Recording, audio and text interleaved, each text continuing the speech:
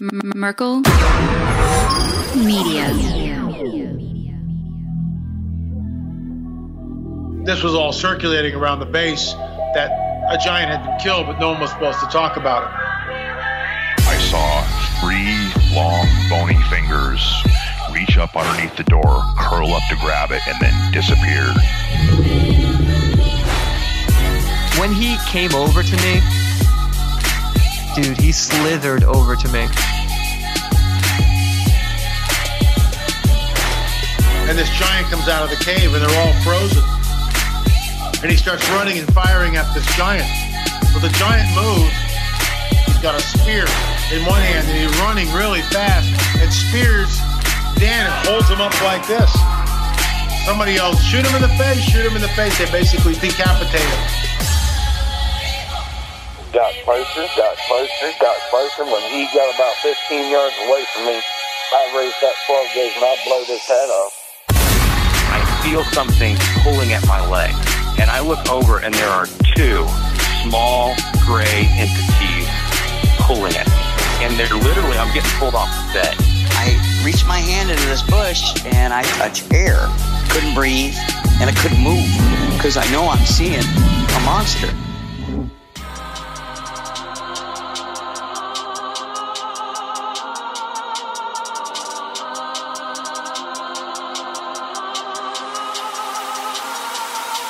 Yep.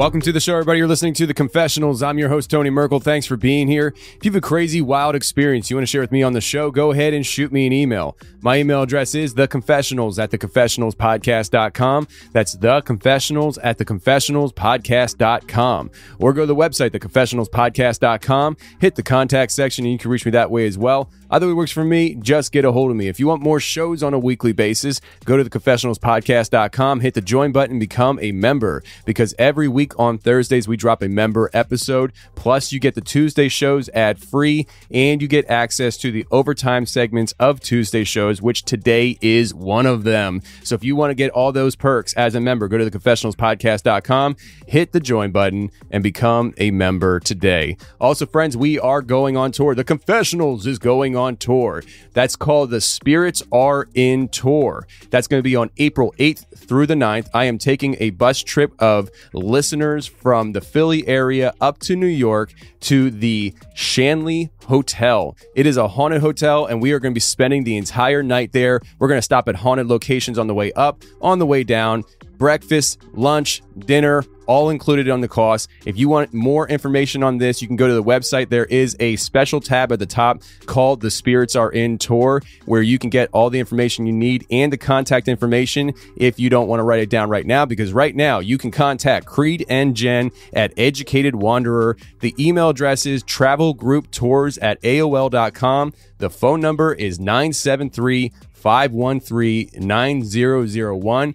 And you can go to the website educatedwanderer.com. So go ahead and check that out if you want to come on tour with me over 24 hours, hanging out with me and other listeners of the confessionals, heading to the Shanley Hotel to spend a night in this haunted location. And friends, also, lots of you guys listen to the show on a weekly basis, but at the same time, the listener base that we have, we see the numbers, does not match the Instagram following, which I've told you before is the place that I hang out most on social media. So please go ahead and follow the confessionals on Instagram. I do a lot of live videos on there. Posting all that good stuff. So please go ahead and hang out with me on Instagram. That's the Confessionals Podcast on Instagram. Okay, today we got Dan coming on the show today. Dan is the host of the show Monster Investigators of America, and he comes on the show today to talk about his encounters in the forest. And one of them stood out so much to me because it was a dog man encounter when he was a kid with his friend, and the environment that he found himself in with his friend in this dog man encounter was very strikingly, eerily similar to the environment and the situation that Lisa was in when she was a child from episode 59. That's why I played it as a reloaded episode yesterday. I hope you guys enjoy this conversation because we got a whole other second hour of overtime conversation with Dan. In the first hour, we cover the New Jersey encounters, and then in the second hour for overtime, we cover the North Carolina encounters with Dan. This is a great conversational show, so I hope you guys enjoy it. Let's get to it.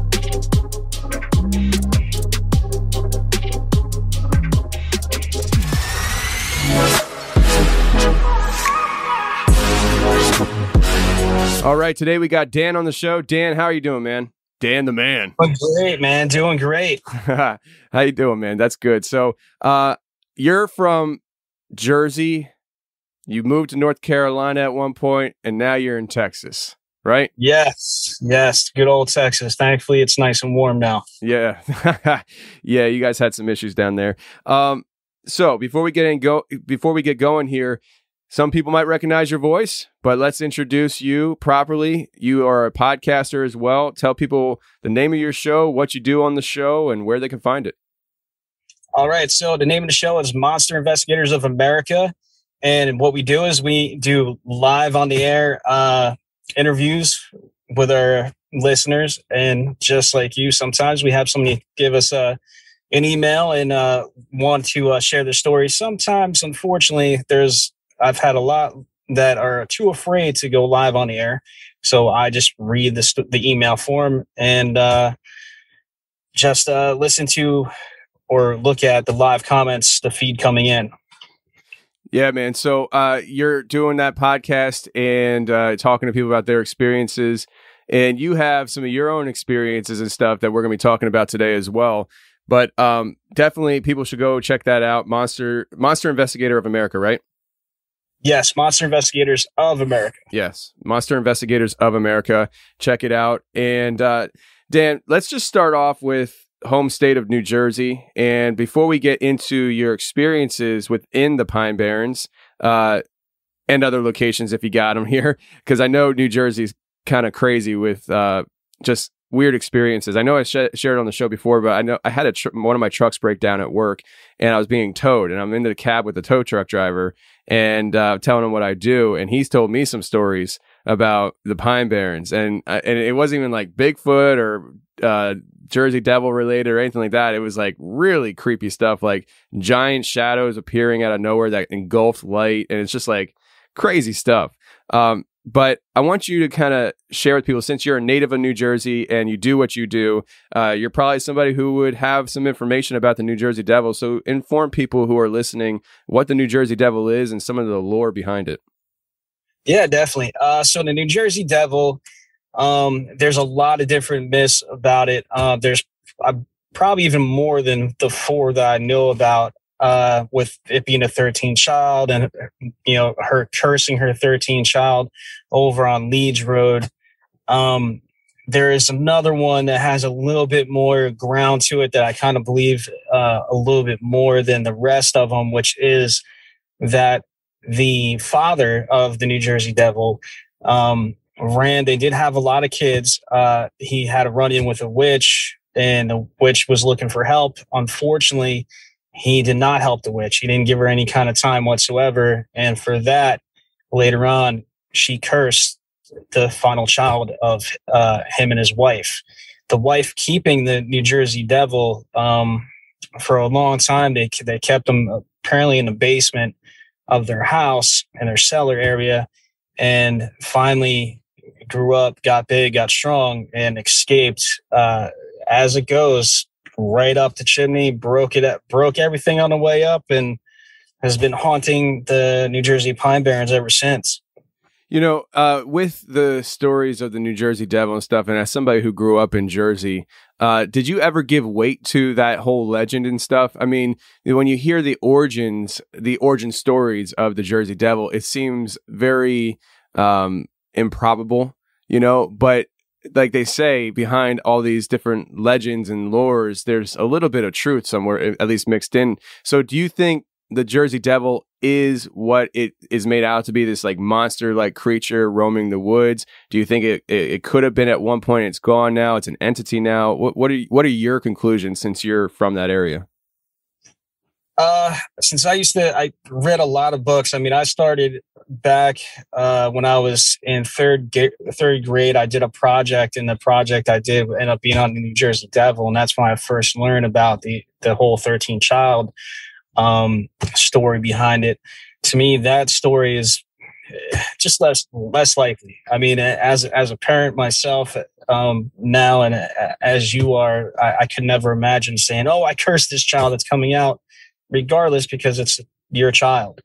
Um, so later on, when I did a little bit more uh, investigating and looking into it, and I found that story about the the witch and the father, it made a little bit more sense to me.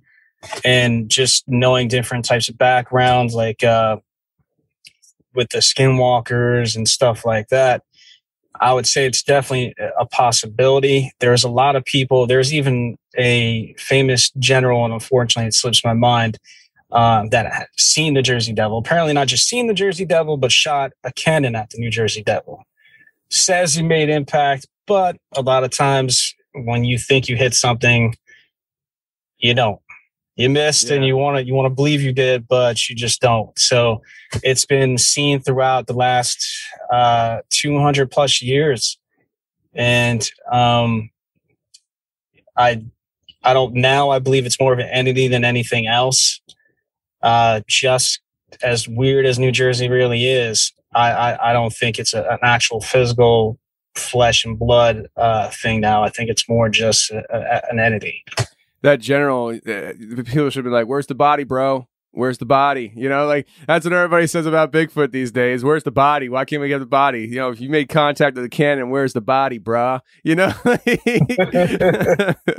but uh, yeah, I, I totally understand what you're saying. And you know, when I think about the Jersey, because I'm not far from Jersey, I'm just on the other side of Philly, which Philly is right across the river from Pine Barrens, pretty much. Um, you know, I, I, think about that and stuff, and I, I think you know maybe you know, once upon a time there was an interaction with a witch or something like that where she cursed the family, and it turns out that you know, after that incident, one of the kids just turned into just this terrible terror of a person. And, you know, mom and dad said, that's because the witch cursed us. That's because the witch cursed us. And that kid, you know, maybe locally or even amongst the family, they hated him so much. They're like, you're such the devil. You're such a devil. You know, you're the Jersey devil, the devil of Jersey. And then that kid goes out and just wreaks havoc on the community, robbing, steal, stealing, killing people and stuff. And the lore begins to grow. And, you know, he's known as the Jersey devil and you know then there's some descriptive uh, people along the way that are like yeah he he was such a devil i swear he had a tail on him you know and he, he flew away you know and all of a sudden it becomes this story you know but like that's what i mean like there's always this little bit of truth somewhere in these lores most of the time, unless you find the original writings of something where it was actually a, a, tale. It was just a story made up by an author a long time ago and it just turned into what it is. But I don't know. I tend to lean in that direction sometimes with with that story. Is that like we don't know. Maybe it was just somebody who was just a really bad person and, and just locally known as that is the Jersey Devil right there, you know? And even back back then, uh, with any kind of deformities. Now, uh, any kind of physical deformities back yeah. then, a, a, lot of the times people were looked at that they were evil, that they have some, they had a demon in them. So uh, even if it came out and it was deformed and they kept it out of love. But as you said, it just got way too hard to handle and he grew into a horrible person. Uh, that just the slight deformities that they had, probably people seen it and was like, oh, that's the devil. And just kept on growing with legend, like you said, with a tail, bat wings, hooves of a deer. I mean, it's just way crazy things that come out. Um, but there's people that said they've seen them. So it, it it's kind of like that chimera stuff, and it, it like you just um it, looks like I mean when you see pictures of the drawings and stuff, it looks like something that uh, is a mix of a lot of different creatures. And I mean, it looks. Uh, I mean, if I saw it, I'd be absolutely terrified. Um, do Do you recall how big they say that thing is? I feel like I it. If my memory serves correct, it's not that big. Like maybe like five feet, four feet, something like that. Is that right? I believe that the average size, like it, it definitely varies, I guess, depending on whoever's telling the story. But the, most of the time, the story is like right around five foot five area. Uh, I've heard some people say seven foot. I, I can't see how. It's, well, I can't say that. That was I just almost just told myself couldn't see a seven foot beast like that get away, but guess again. Sasquatch. Yeah, so. guess again on that one. No, but I, I get it, man. Like when I think about it, like you know, being about five feet tall, I'm just like, man, I'll smack that thing. I don't care, you know. So- Up until it's in front of you, then you're, Yeah. looking the other way. yeah, exactly, exactly. I mean, shoot, if I if I saw something like that that was two feet tall, I'd be freaked out. I'm like, I'm out of here, you know, because all you're thinking about is it moving supersonic speed and like just swirling around you, chewing your flesh off as you run away, you know. Yeah, exactly, exactly. That's why I just even something that if it was a tiny little creature, I just maybe if it was six inches, I might you know think about giving it a punt. But uh, otherwise, anything bigger than that, I, I'd probably hightail it out. So let's talk about uh, some Pine Barren stories that you experienced. I know uh, you have uh, plenty of experiences that you've ex- went through that you know maybe weren't really listed in the email as much. But let's start off in the New Jersey Pine Barrens. And while you're telling that story, I'm going to get up and close my window because I hear birds chirping. All right, no problem. Uh yeah, so I'm gonna say this is back in 2008. Um we went into a spot in the Pine Barrens by uh Wharton State Forest. And Wharton State Forest that where we went is a very rural rural area. There's this is a campground where you, there's this ain't glam camping. This is camping. Like you bring a tent, that's what you got to sleep in. You don't have a shower. You don't have any of that stuff. You have the river that runs on the back end of it. Um, and that's pretty much it. And the, the crazy thing is like the, this, when I'm, the story that I'm telling right now, it started off weird from the get go. Like there was nothing that was normal about this.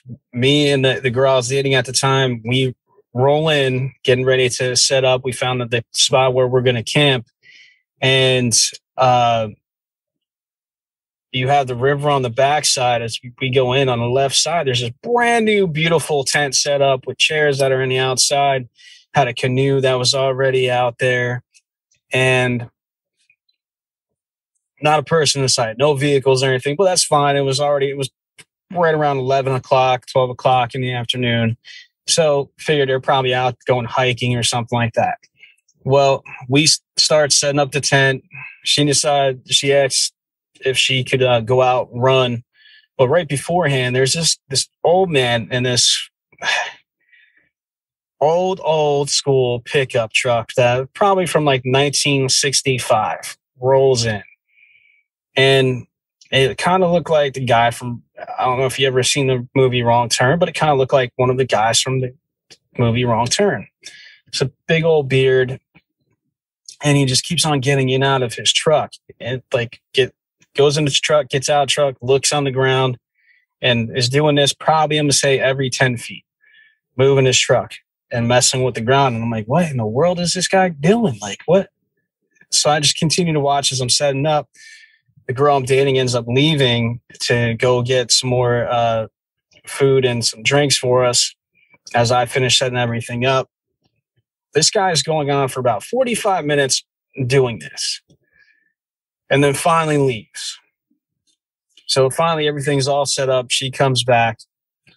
We're cooked dinner, eating, and then as we're eating, we hear this this noise that uh, I, I grew up uh, I grew up in the Jersey woods. Like I would sleep outside the woods with just my pullover or my hoodie and be out in the woods and that's it. No tent, no nothing. Plenty of times. Uh, so I, I I I know the animals that are out there. And there was just this weird high pitched noise that I can only describe almost sounds like a almost sound like a baby cry but with uh, like an animal animal instinct like an animal noise attached to it So it caught both of our attentions because it happened. It was it sounded like it was right over across the river. So I'm looking, trying to see if there's anything else that's over there. Couldn't see anything. Five minutes later, noise happens again, and then that's it. Start to eat dinner. Uh, another hour later passes by, and then we it's getting darker now, and we hear people walking. Now there's nobody else was there besides us and whoever was supposed to be in that tent. That those people in that tent still have not showed back up. Um, and then we're even hearing people walking. It's dark enough where if you don't have a flashlight, you're not going to see where you're where you're stepping. So you could easily trip, twist your ankle, get yourself messed up. But it sounded like it probably a group I'd say of like I don't know four people walking and doing some kind of weird chant. Now, at this time, the girl I'm with is really starting to get freaked out, and I'm telling her, like, listen, everything's okay. We're fine. Everything's going to be okay.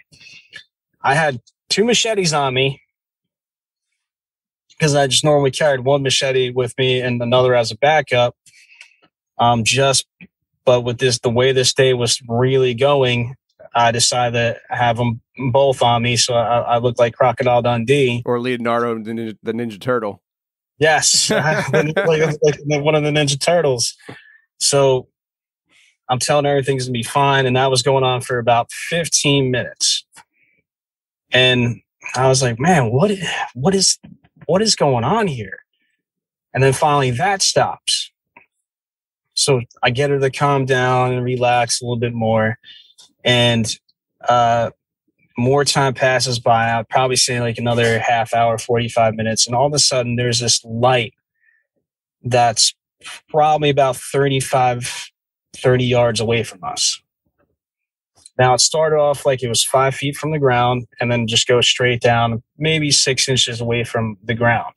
And it continued to do this over and over again. And, it, the light wasn't like a flashlight. Like with a flashlight, you, you see the beam um, this was like a light that kind of just radiated around it. So it really caught my attention and something inside me like clicked that it didn't seem like something was right. So I had a big spotlight that I, I, I, brought with us and I picked it up and I shined it over there because I figured, well, maybe or I, I was probably hoping maybe this is a person they met a lost something, could be our neighbors across the way. Let me shine a light, see if they're there, and I'll see if I can help them out. I shine that spotlight on them. The light disappears, and there's nobody there. Nobody at all. Nothing around. I, I and this light could cover a lot of territory, so I just went from right to left and looking, didn't find anything. Now the girl that I was with at the time seen the same exact thing, and she was like, "What? What was that? That's there's nobody there." And I'm like, "Yeah, it was probably just, uh, you know, I don't know, maybe like a gas or, or, or something. I don't know." So then put the light back down. Within five minutes, that light is back up and doing the same exact thing. And it was almost like it was trying to grab my attention because part of me wanted to walk towards it and and investigate. And then another part of me which was like a voice inside my head I was saying no stay put. Just sit down and let it whatever this is pass by.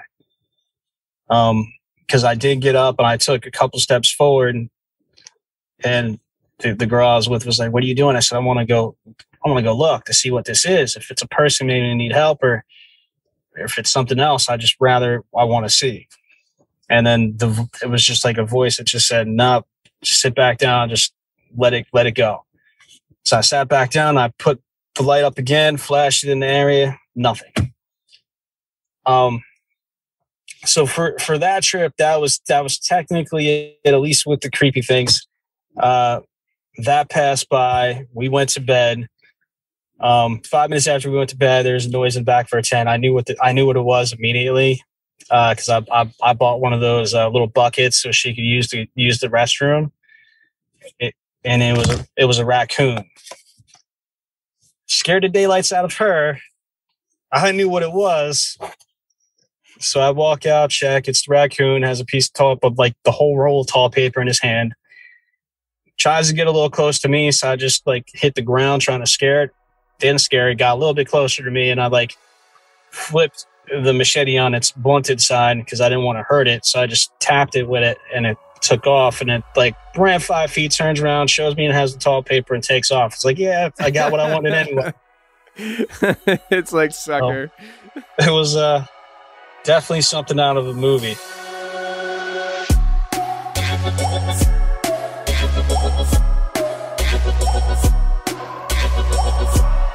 Okay, here's our first sponsor for today, which is Cerebral. I've been talking about Cerebral for a while, and you know what, friends? It's because anxiety and depression has literally doubled in the US in the past couple years, and I think we know why that is, but there is need for solutions to these problems people are having. And that's why I like promoting services like Cerebral. In fact, I'll tell you this much I am just getting over COVID. And there's something that I just found out that people told me that is actually a thing. I didn't know it was a thing, but I was talking on my Instagram live to the audience about, you know, going through COVID and all that stuff. And I mentioned about how it seems like COVID took motivation out of my life. Like I felt depressed, sad, felt like I was going nowhere, felt like I was looking at the show and thinking to myself, why am I doing this? It's nothing. It's worthless. Nobody listens. Nobody cares. Like just all this like self doubt coming through my head. And I was like, I don't know where this is coming from. And people were telling me that I had COVID brain. And I said, what was that? And apparently people who get COVID sometimes have this like COVID brain where it's just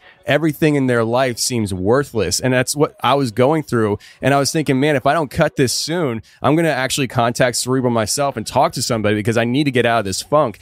Fortunately for me, it only lasted a few days and I was good to go.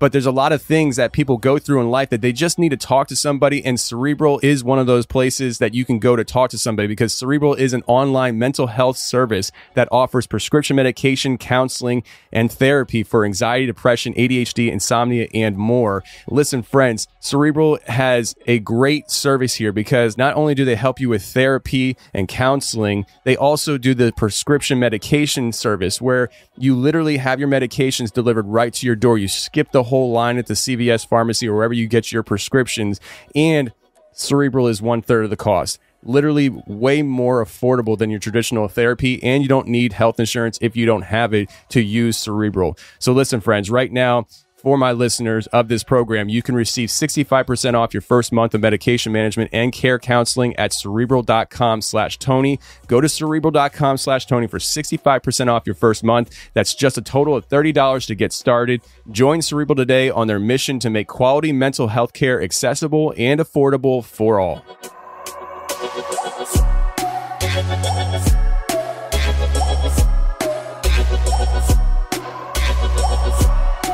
So, what do you think the uh, the light ho- the whole light situation is? I mean, I know you know obviously by just by the name of your your podcast. I mean, uh, clearly you're in you're into the whole monster and Bigfoot type thing, and people talk about the lights being associated with Bigfoot, and I definitely think there's something to that. But I don't think that all lights people see is Bigfoot.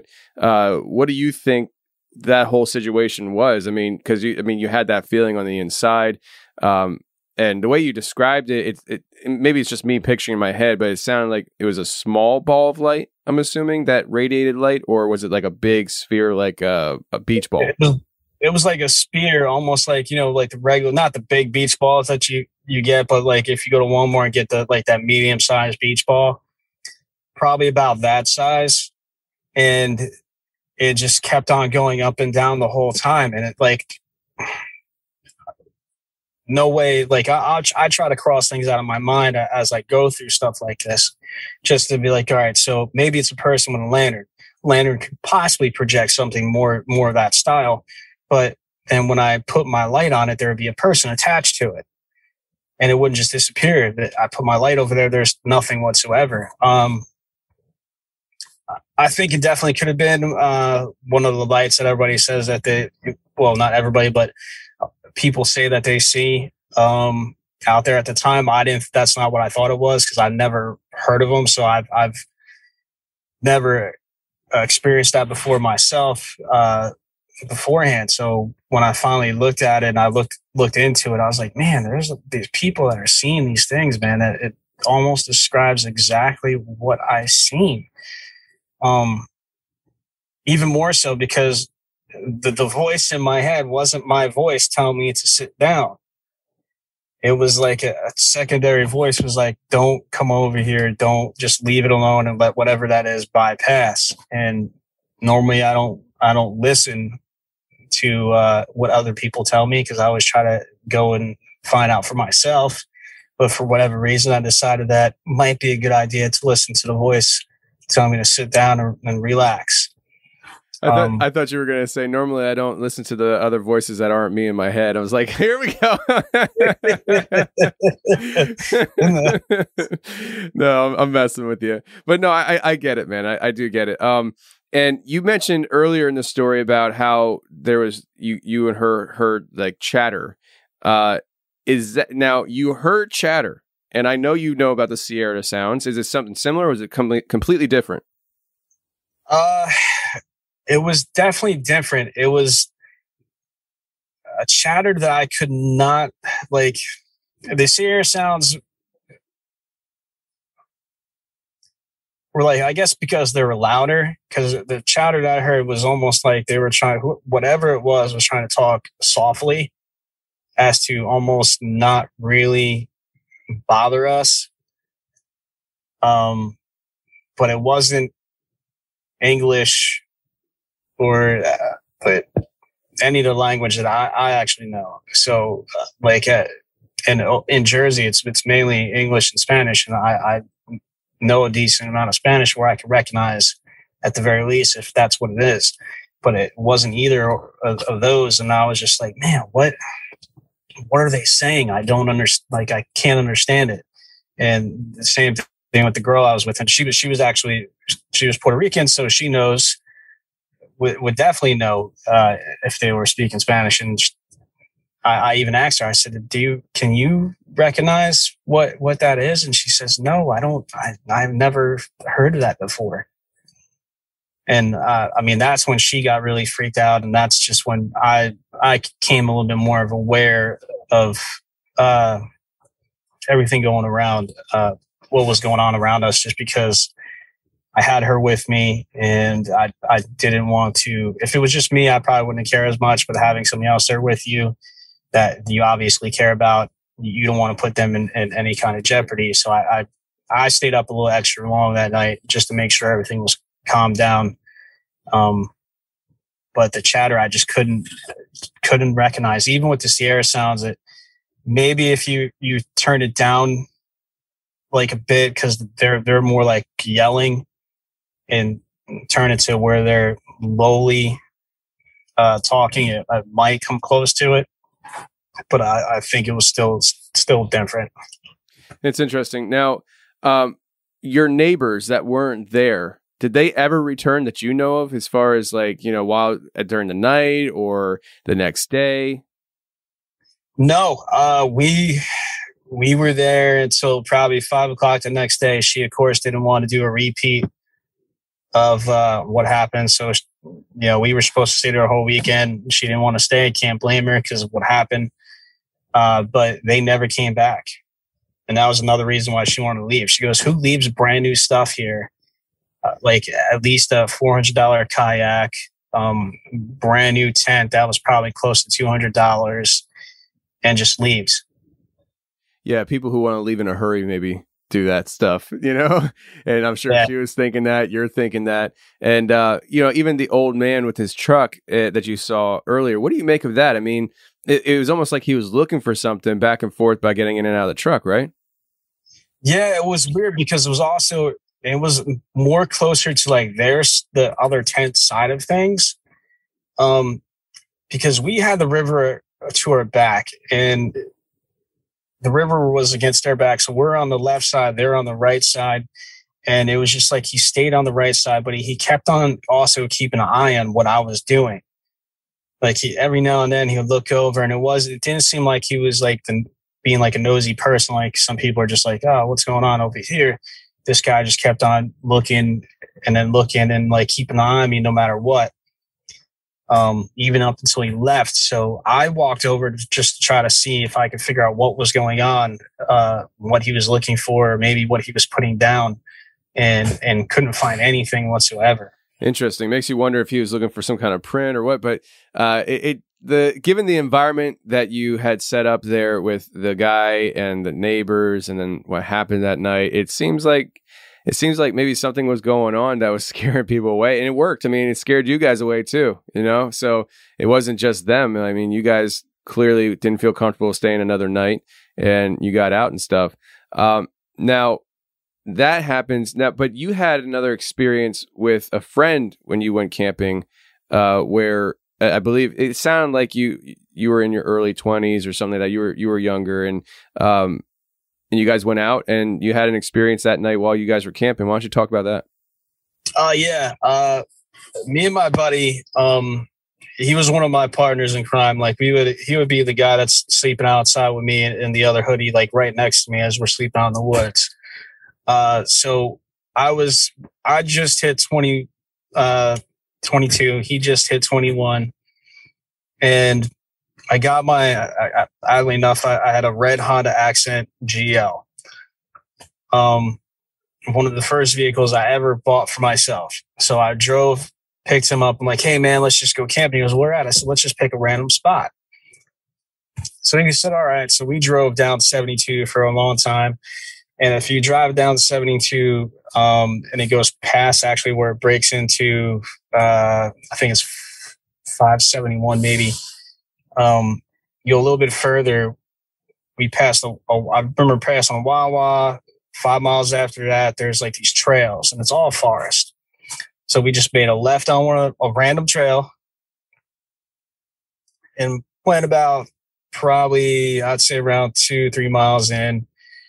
Made a right turn, went I think a mile down, and then um, just picked a random campsite. We're like, all right, right, right here, we'll camp. So we put up the tent, um, had everything all set up, no issues, and uh, had a couple beers.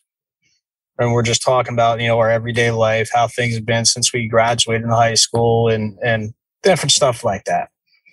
So later on, and I can't, my friend is known to wake me up over noises that he hears.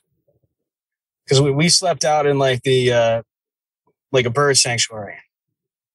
He woke me up at two o'clock in the morning because he heard something, which was a bird, and I got highly aggravated at him. Let's play the the the uh, the game of figuring out what's in a bird sanctuary. yeah, yeah, he's like, "Wake, wake up, man!" I'm like, "What, what, what's going on?" It was, "What, what's that noise?" I'm like, dude, come, come on, man. We're, we're in a bird sanctuary. There's, there's birds all over the place. I'm like, don't, come on, don't wake me up. We were freezing that night to begin with, so it was harder to fall asleep. And then, uh, so that's what he's known to do. So, of course, at this camping trip, what does he do? Around, I want to say it's like around 12, 1 o'clock, he does that same thing to me. I think it was closer to 12 shakes me, wakes me up. He goes, Dan, Dan, Dan. I hear it. And I'm like, I just look at him. I don't let him finish. I'm like, dude, seriously, you don't hear. And as soon as I say the word here, something stepped right next to my face.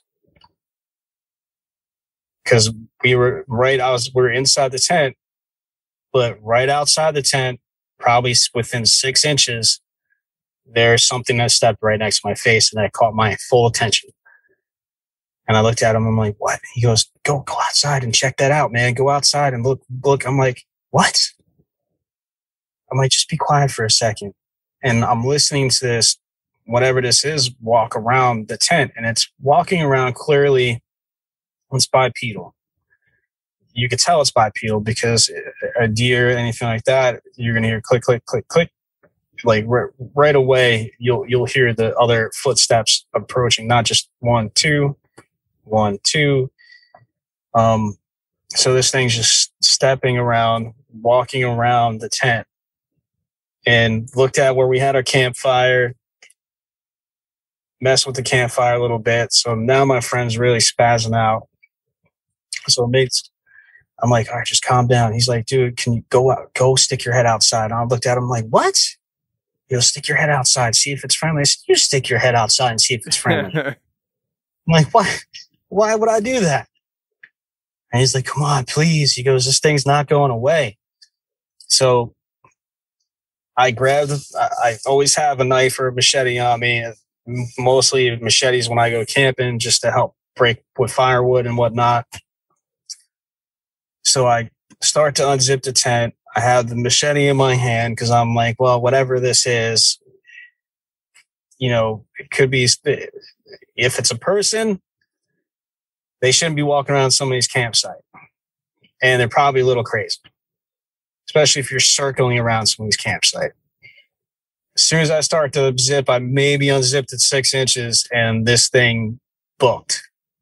And you could hear it snap every thing that got in its path. And it was in the Pine Barrens, it was very thick. So you have trees that are like, you know, anywhere from two inches thick to eight, ten inches thick. And whatever this was just broke everything in its path. And until finally it was gone. Didn't hear it anymore. It stopped running. And um I looked, I just looked around real quick. Uh, I didn't go really anywhere. I stepped outside, stayed in front of the tent the entire time, took my flashlight, looked around, didn't see anything. I went back in the tent. I'm like, dude, I think whatever it was is gone. Let's just go back to sleep. He's like, all right, man, I just, but I, I want to leave tomorrow then. I'm like, yeah, we'll leave tomorrow. That's fine. I'm not unhooking the, the tent up. I'm not staying in the car just in case it's it is a person and whatnot because that's what was in my my mind at the time i was thinking it was a person and uh sure enough um he wakes me up another a couple hours later he had to use the restroom and he wanted me to walk walk him to to watch his back and i was i re, uh, reluctantly did after about five minutes of bickering with him asking why but turned around, let him do his thing, and then went back to bed. Woke up the next day, and I had to look around, and we seen uh, some pretty big prints that we couldn't make any kind of understanding of. Um, and I wasn't even looking for prints. He brought it to my attention because I was trying to see what he was breaking because you could hear just stuff snapping. And about five feet into the brush, you can see this tree, probably six inches thick, snapped. No, no person's going to do that. I mean, unless you're sitting there maybe kicking it, but running into it, I can't see anybody big enough to just cracks like something completely in half, like it was nothing. Um, so that's what got my attention. And my, my friend's like, Hey, dude, what, what is this? And I looked down and it was it was a footprint. So we couldn't tell. Like there was there's there's a footprint and there was uh also deer like deer tracks around because it's, it's all local to the deer in the in the pine barrens. So, but the the out of the thing that was out of place was the footprint. How big was it? Uh, I would I would say 13 and a half inches. That's pretty good uh, size.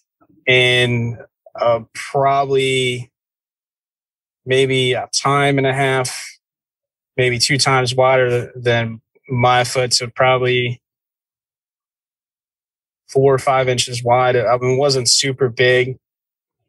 Um, but the thing that threw me off was just like the the tree is getting snapped in half, and that kind of made me realize that I was number one with, with him hanging out with me is just the wrong company to be out there, even trying to, if I wanted to stay another night, uh, because he was scared out of his mind, uh, especially when he seen a footprint and I was showing him the trees that broke. The, the crazy thing is though, because I followed the line, the line stopped, um, probably about 25 yards in.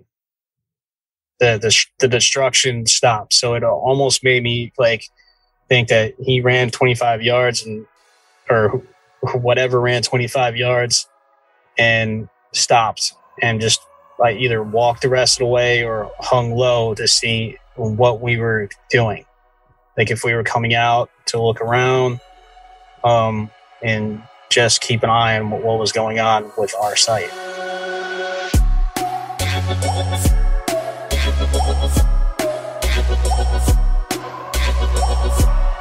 Okay, our last sponsor today is brought to you by SimpliSafe.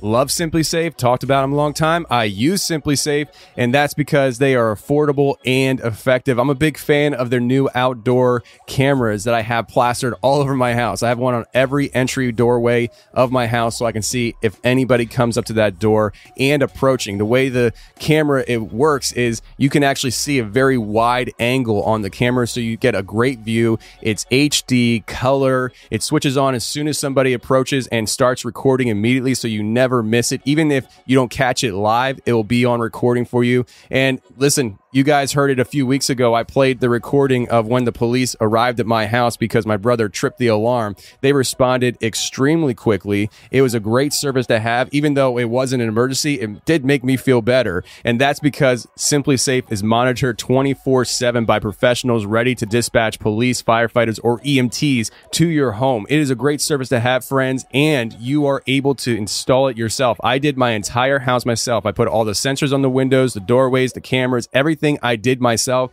And I am not that great at figuring some of this stuff out, but I did do it all on my own. And if I can do it, you can do it too. And right now, you can customize the perfect system for your home in just a few minutes at simplisafe.com slash confessionals. Go today and claim your free indoor security camera plus 20% off interactive monitoring. Go to simplisafe.com slash confessionals, get your free indoor camera, get your 20% discount, and get your family secure today.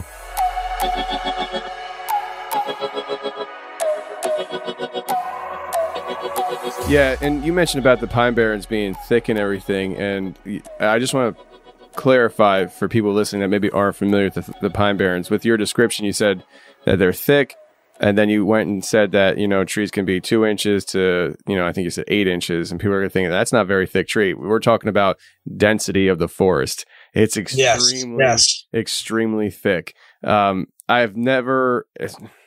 No, I don't think I've ever really gone hiking or anything like that in the Pine Barrens. But I used to drive truck uh, in South Jersey, and you would drive right around them. And I'm telling you, man, I was astonished at how thick the Pine Barrens were when I'm driving by. I mean, you can't see into them because it's just thick. Tr- uh, I mean, trees just right next to each other everywhere. And so I, I wouldn't even want to if for pleasure purposes, I wouldn't even want to hike into Pine Barrens because it, it seems like a place where you you would it would take you forever to get anywhere because you have to walk in between all these freaking trees. Well, that's that's the thing. Like it's it's it is super thick, and even with the hiking trails, they if they're not taken care of or if they're not uh, you know hiked on a regular basis, the, the the nature will take it right back over very easily.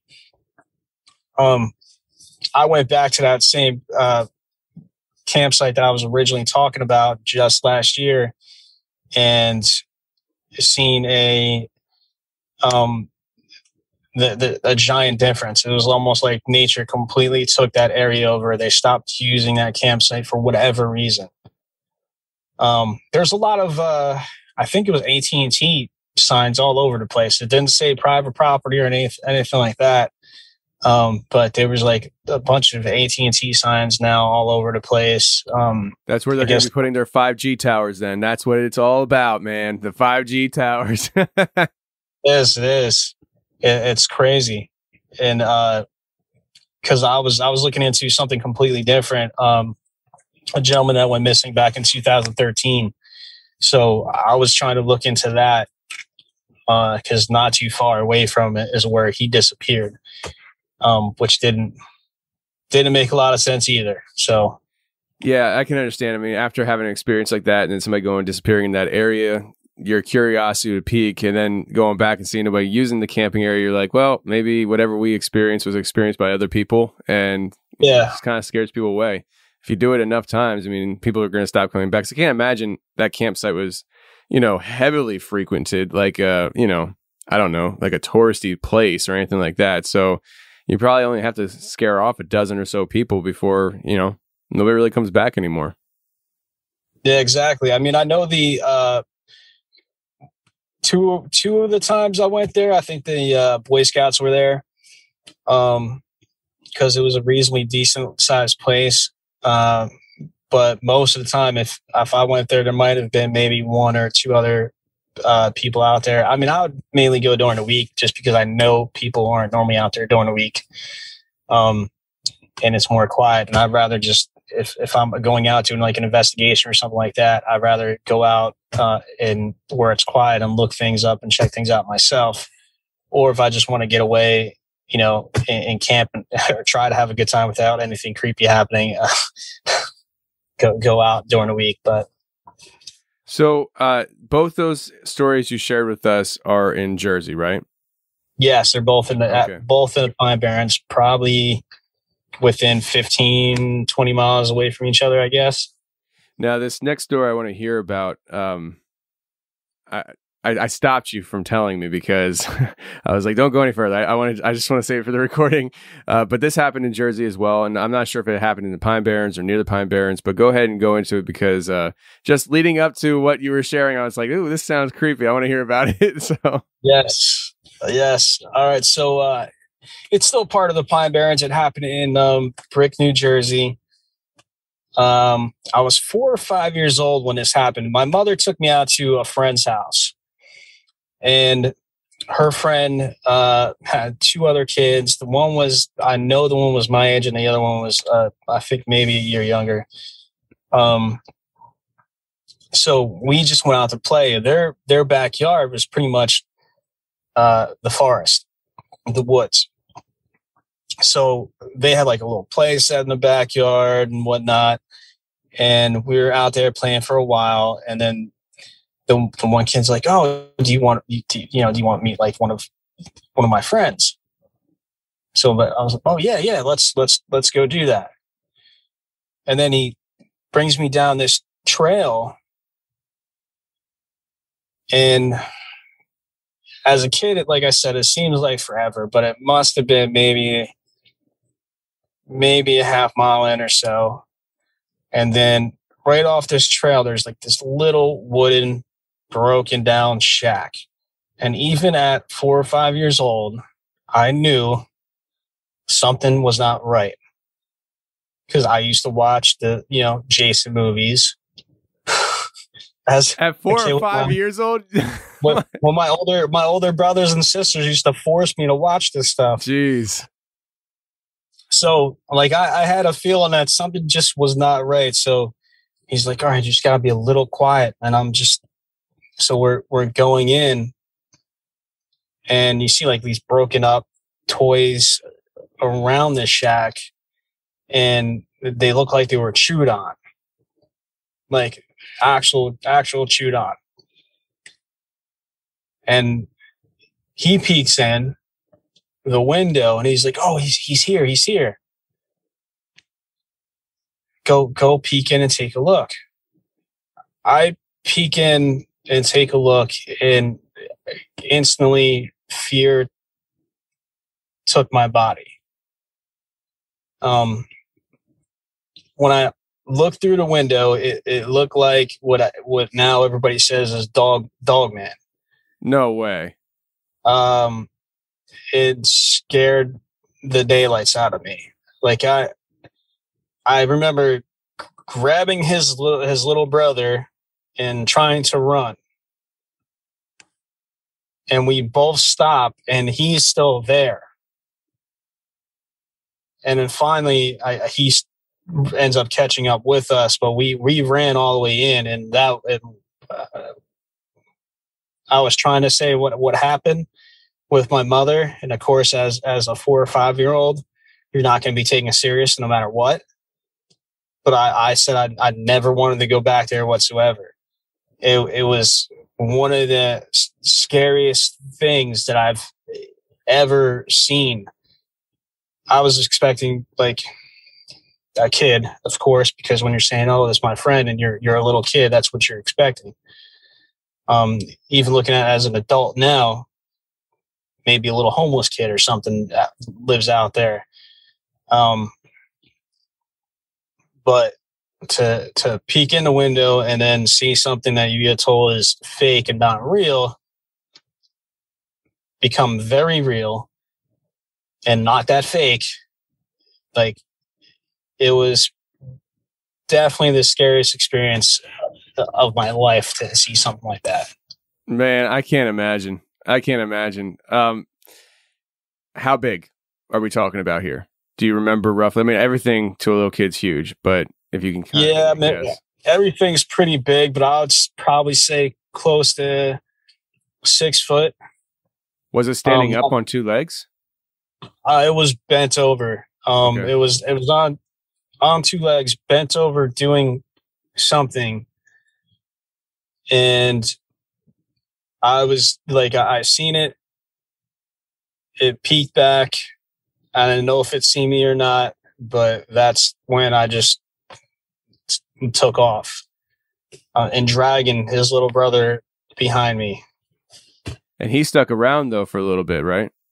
Yes, he stayed around for for some reason, and that's like we stopped and we were calling him, and then finally he he started to move, so ran again and made it to the yard.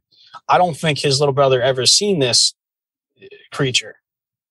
Because he he's he was terrified in, in tears and and whatnot as like as well because you you're you're seeing a monster that you get told does not exist. Like no there's no such thing as monsters and when you see something like that obviously you you're like no there really is some such thing as a monster that it, it was probably the scariest thing ever Now, he said it was his friend. He stuck stuck back. Did he ever describe a relationship with him? Like after that, you saw that you're like, you hang out with that thing. I mean, did he ever go into any details? Because I mean, you mentioned about there being toys that were chewed on. Do you think he brought those toys or what? That's what it seems like because we we uh, probably only after afterwards stayed for another 15 minutes. Um so we didn't stay up too much longer after it happened. Uh but like the way that he was saying like he he that he would say that like, he would oh grab the like old school he-man doll. Grab that and gave it to him. But it was stuff that was all chewed up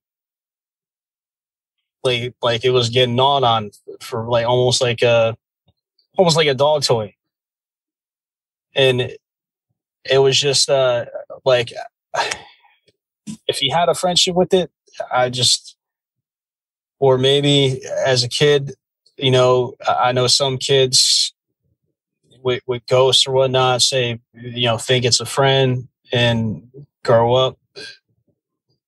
But uh what what something that looks like a werewolf uh, like out of your worst nightmare i i can't i can't understand how uh, a kid would be not afraid of that No, I understand, but this is not the first time I've heard this before. Uh, I, I know on episode 59, that's like, you know, 10 million years ago now. Uh, the the lady came on, her name was Lisa, and I think I, I called the show The Other Side of Dogman, and she came on the show talking about when she was a little girl having a relationship with one of these creatures where it was like a friend to her.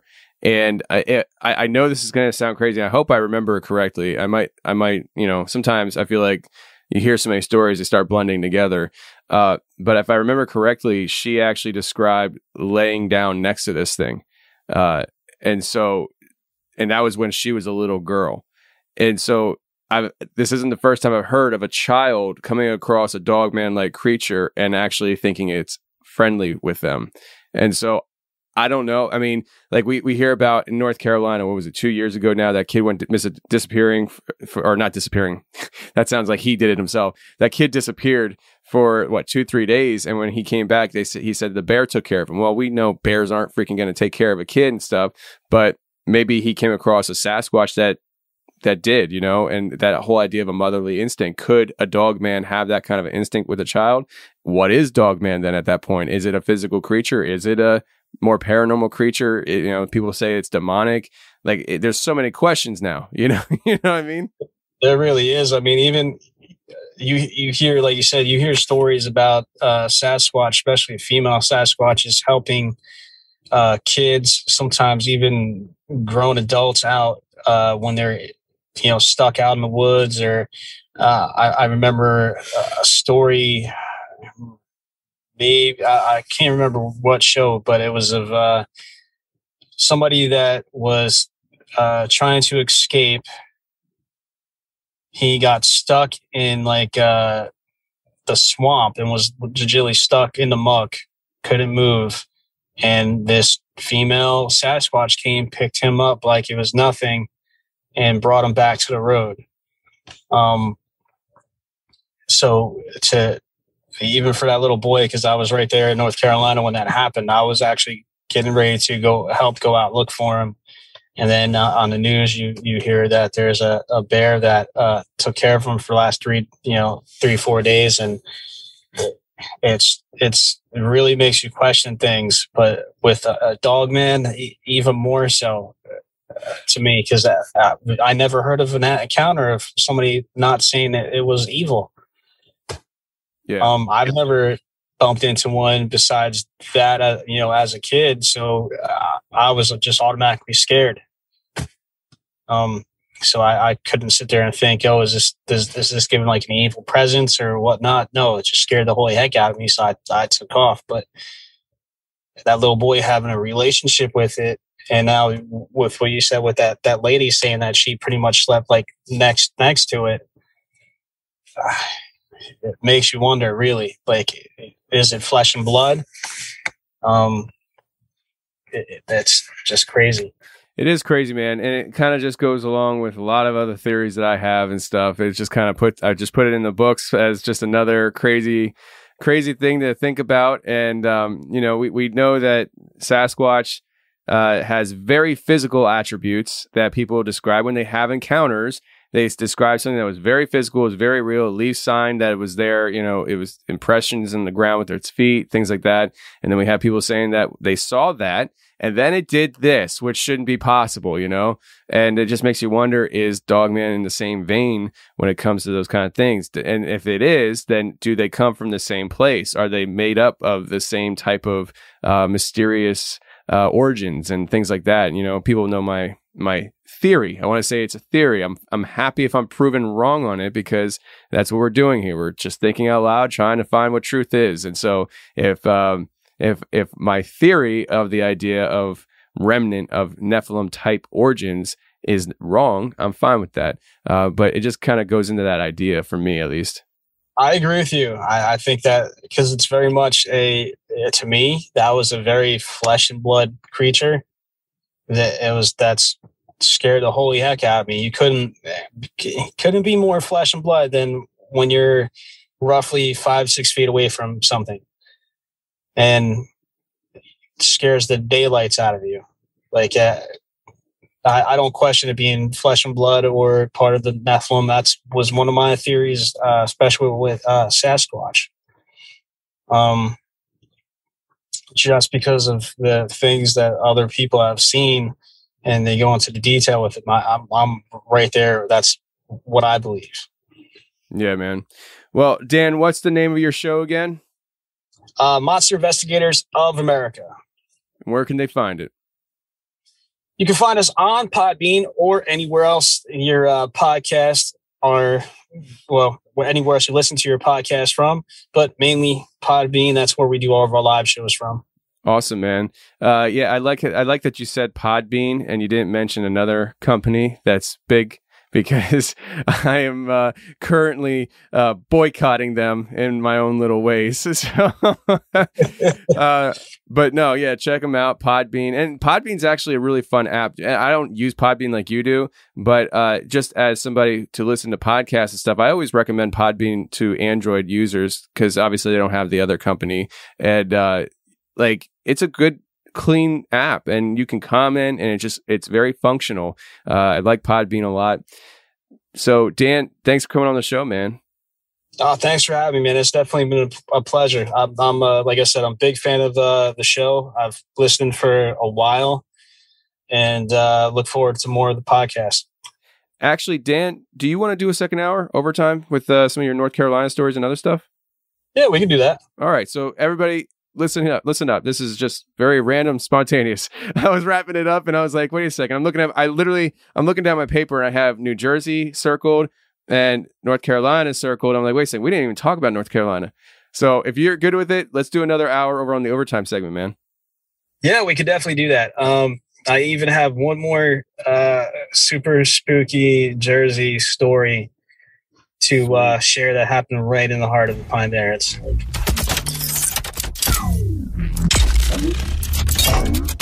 Well, that's the show, everybody. I really hope you enjoyed it. And if you did enjoy please, please, please share the show with your friends. I don't care where or how you share the show. Just share the show if you enjoyed it. That's the best thing you can do to help this show grow. And friends, remember, this is an overtime show now. Spontaneous, yes, but it is an overtime show now where we're going to cover the last of the New Jersey encounters and the North Carolina encounters with Dan. If you're interested in that, head on over to the overtime section on the website if you're a member already. If you're not a member, you got to become a member to get access to the overtime section. So if you want to do that, go to theconfessionalspodcast.com, hit the join button, and you'll get access to this overtime on the website and or the Castos app. You'll have the option if you want to listen on the app as well, but that's all available to members. So, all right, welcome to overtime. We got Dan the man. How you doing, buddy?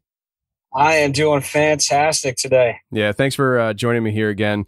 Uh, like I said on the show, I mean, I'm looking at it. I'm like, wait a second, we didn't even do North Carolina. And so I was thinking, uh, let's do an overtime segment if he's good with it. I'm glad you're good with it. And uh, we're going to jump into it though. But before we get to North Carolina, let's do the last story from New Jersey and stuff. And then we'll uh, go down south. Yes. Uh, so, me and a friend of mine, we would go every other night out into uh, like adventure, just see if we could find any like trails that are off the road and just drive down them. And um, so one night we decided that we're going to go down uh, my old uh, stomping grounds in good old Waretown and um, take a trail um, off one of the main roads called uh, Wells Mills. So we went down the road for a long time and we find this trail. Uh, I think we were four or five miles down it. Hit the trail. We go five miles down this trail and to the point where we actually can't go anymore because we're in a car. Normally we would take my truck, but this day we have the car. So we had to turn around and do like a K turn, turn around, point the other way, and we just stopped and we're talking and, and BSing a little bit. And then as we're talking, uh, a flash of light across uh, the sky caught our attention. So yeah, started looking around trying to see if maybe because you know p- people over there like to go out mudding all the time and enjoy themselves. So we're trying to see if maybe it came from a truck. No trucks no nothing. Um we just continue to look around and, and find nothing whatsoever. No lightning any of that. Uh so we continue just to talk and, and whatnot. And then i get this this feeling inside that like when somebody's looking at you and you, you know you get that feeling that somebody's actually staring at you i get this feeling that somebody's staring at us and i was there with my, my friend was a female so i was trying not to scare her so i was just like I got up and turned. She's like, "Oh, what are you doing?" I said, oh, "I just wanted to look around to see if maybe I could see where that flash came from." So right directly behind us, behind our car, there is a image that is darker than anything that it was outside. Standing like a human behind her car. And it, it was probably 12:30 at night, so it was pitch dark in the Pine Barrens. You don't get a lot of uh, light anyway. And this thing just was darker than outside. My fantasies always consisted of making it big. My soul was nothing more than a bargaining chip. Marketing is what they tell you to do and what you're willing to give. LARPing to the fullest extent. I don't wait, I shoot first like Han on a roadie. And these people don't understand me like reading a Nokian. Stretch like pulling an accordion. My heart ain't primordium. All these historians telling us lies, setting aside everything is medicalized. Politicians selling the ride, a better die. Where the relevance lies, they dressing alike, reptilians. My resilience is brilliant. I'm here to lead the rebellion on hellion, salient, alien with no melanin. I'm a yeti and hiding from Armageddon. Come and find me, I ain't even hiding. We ain't the same. I play no